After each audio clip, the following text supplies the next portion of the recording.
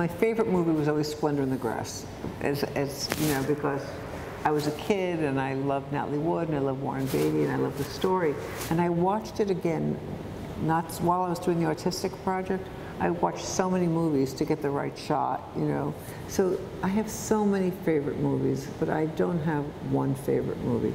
I had crushes on both of them as a kid. She was so beautiful, he was so handsome, you know. I just loved them, and I loved watching them in all their movies. And it was just, um, and the story, the story's so sad. You know, it's such a terrible story because it was a love story that didn't end up the way you wanted it to end up. And, and, and it was a beautiful movie.